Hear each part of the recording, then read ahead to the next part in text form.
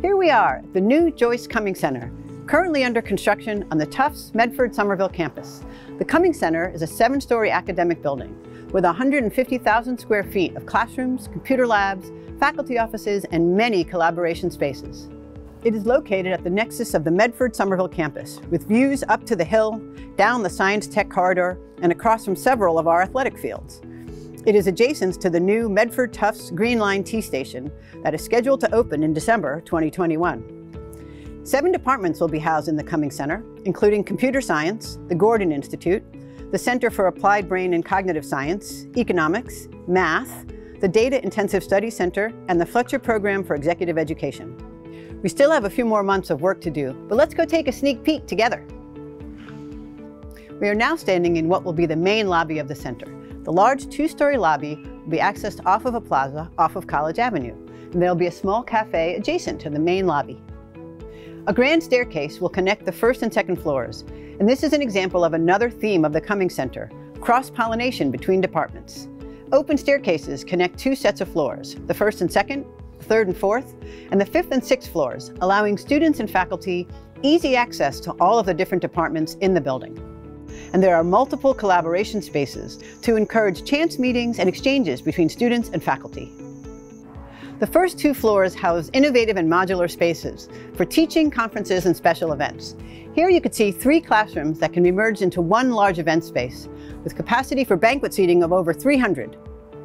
Directly above us on the second floor is a large auditorium that can seat 164 students, along with multiple computer teaching labs with seating for 32 students in each lab. The third through sixth floors each have similar layouts and will house reception areas for the departments, faculty offices, seminar rooms, and classrooms. Now let's go upstairs and take a look. As you exit the elevator and stairwell on each floor, there's a view back up towards the hill. As you exit the elevator lobby, you come to the main corridor of the building, which we're calling Main Street. Each department will have their reception offices off of Main Street and a small collaboration space for students and faculty to work together. Further down Main Street, we have two very large double-story collaboration spaces. Once the building is complete, these spaces will have amazing views up the hill. This space, connecting the third and fourth floor, will be the Stricker Family Hub, which we envision as a gateway to collaboration. This will be a space where students and faculty from all the departments in the Cummings Center will collaborate, create new ideas and projects, and have a comfortable and beautiful space to meet, learn, and hang out. Another element off of Main Street is the seminar room. Each seminar room holds up to 30 students and has a large window looking back up the hill. On the third floor, this is the Berger Family Seminar Room. These seminar rooms have great flexibility as far as pedagogy and classroom layout. Almost all of the classrooms in the Cummings Center have been set up to be able to teach in-person and remote students at the same time. At the corner of the building are collaborative spaces. For the last stop on our tour, I want to show you that space on the sixth floor. This is the Lantern.